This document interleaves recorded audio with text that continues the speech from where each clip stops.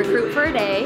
Um, it's an invitation to our donors to come and experience what it's like to be a University of Minnesota recruit. What we hope to achieve is to kind of engage our donors with coaches and student athletes. We've got a great panel of four coaches that are going to explain their recruiting techniques as well as um, a tour at the end. Well, what a great event this is to have uh, so many of our donors come and experience what it's like to be a recruit for a day. Um, you know, it's so important uh, in college athletics to recruit, and uh, I take a lot of pride in that, and I, I sure look forward to telling uh, all these donors uh, what it is that's so great about Gopher Women's Hockey.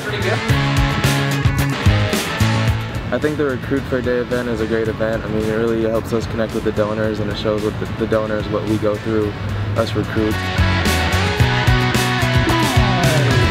It compares to our visits pretty similar. I mean, they, we have people meeting us at the door, and then you have the, um, recruiters all talking to us and walking us around, showing us what it is before we head up to the field.